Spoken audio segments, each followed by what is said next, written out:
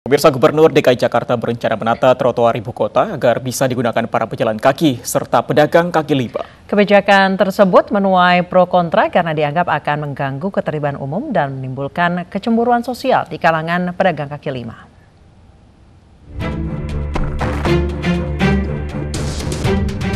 Revitalisasi trotoar yang dilakukan Pemprov DKI Jakarta tak hanya untuk memanjakan pejalan kaki saja, tapi juga untuk lapak berjualan para PKL.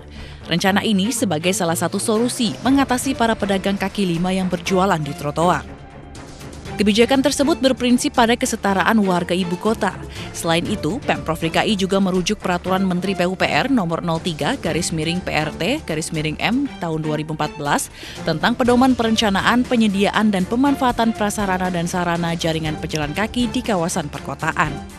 Nantinya trotoar yang akan diperuntukkan untuk para PKL adalah yang berukuran lebih dari 1,5 meter.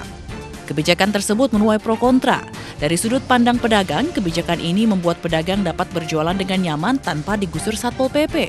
Namun akan ada kecemburuan sosial di kalangan pedagang kaki lima, di mana di satu daerah PKL diperbolehkan berjualan di trotoar, di daerah lain PKL diusir jika menggelar lapak di trotoar.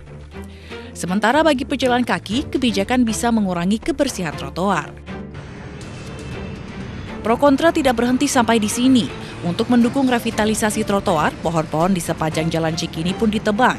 Penebangan pohon ini dilakukan dengan alasan keamanan pejalan kaki karena pohon seperti jenis angsana dianggap sebagai pohon berukuran besar yang mudah rapuh. Warga pun mempertanyakan langkah Pemprov.